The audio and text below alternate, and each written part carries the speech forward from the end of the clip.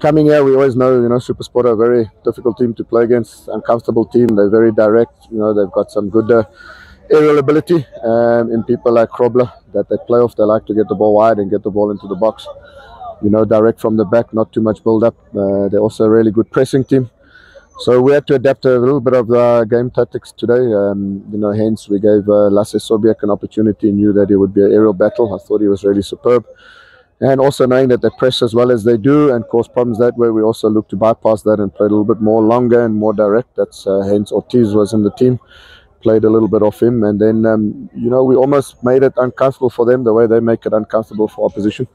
Um, so we just adapted our game a little bit like that. Um, second half we came out uh, a couple of changes. I thought we got a little bit of momentum and impetus going. We were able to move the ball a little bit quicker. It became a little bit open.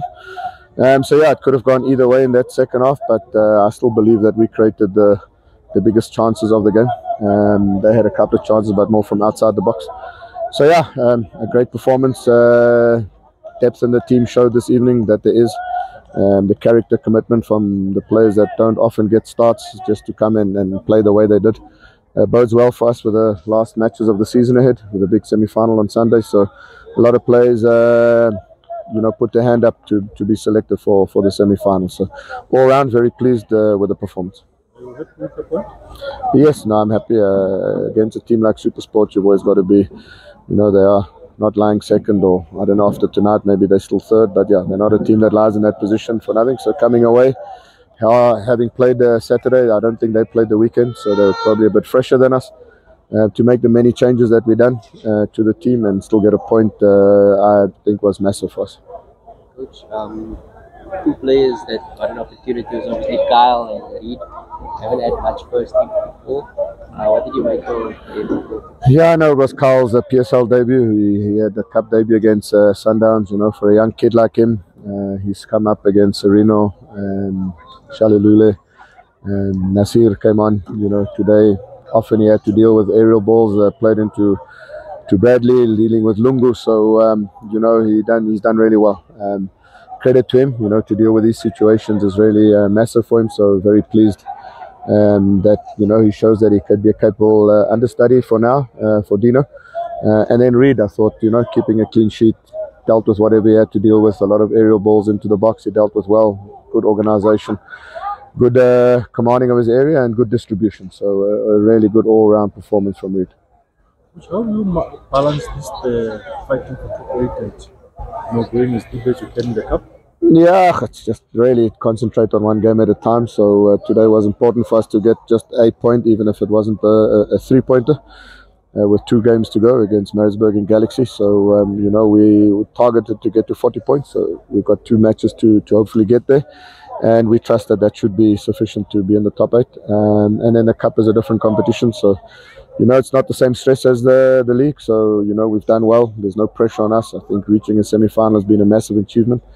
Um, so, yeah, nothing stops us from really having a full go on Sunday uh, in front of our fans. Hopefully we can fill up Danie Craven, get the big crowd behind us because if they can help us get to a final, it would be a massive achievement for, for this football club.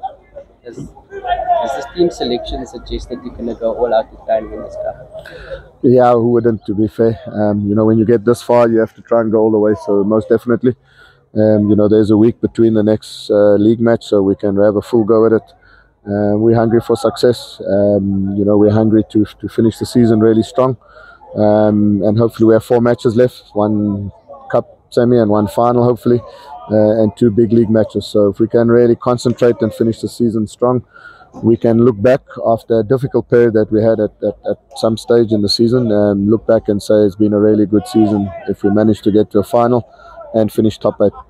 How much of a blow was it not having Iqraam for this match? Yeah, I think it was a blow. I mean, uh, in the type of goal scoring form that he's in, you know, especially second half when the game opened up and there were some transition moments. Um, I think you know he would have may have been the difference tonight to get the winner. So, uh, but it is what it is. Um, you know, he has been working really hard for us, playing 90 minutes, 90 minutes the way he plays. You know, um, I think it might be a blessing in disguise that he wasn't available tonight um, because he's key for us uh, going forward the final one from me, coach. Um, obviously, you know, beating Sekhukhune, I think guarantees you CAF Confederations Cup. So in hindsight, you know, putting all the eggs in one basket and maybe opportunity to some other players in the final games, is that a thought that's going through your guys' head? Um, it, it, yeah, it could be. I think it's we just you know after games like that, you just need to get back and sit down and re- reassess and rethink things. Um, you know, people like Andre De Jong is coming back from injury. Uh, Junior Mendieta wasn't available today. Um, so you know, there, there, there's ways that we can look to play with it. I think now is just get back to Cape Town, regenerate, refresh, uh, prepare for the semi-final, and should we make the final, then you know we'll then decide how we approach the, the final three matches of the season. Firstly, for me, maybe two questions. Firstly, um, how far has this team come um, in this season? And also, who is your who are you voting for for the player of the football of the season? Yeah, the last question is difficult to answer. I think uh, uh, one or two final fixtures needs to take place, but I would like to say that uh, I would hope that people like Iqraam Rayners and Junior Mendieta start being part of that conversation. Um, I don't necessarily believe that uh, they should win it, but uh, Sundowns, the way they've played, it should be from there. Um, but they have to be in the conversation. The amount of goals and assists uh, has had, the amount of goals and assists that uh, Mendieta has, hopefully they can get some recognition. And also, young player of the season uh, would be very, very disappointed if uh, we didn't have some nominees for, for that. Um, again, we finished the game the last 15, 20 minutes with six players under the age of 22. Um, so, you know, the future looks good for the club. Um, it's always just the challenge of making sure that we maintain this, maintain the squad uh, to take us forward.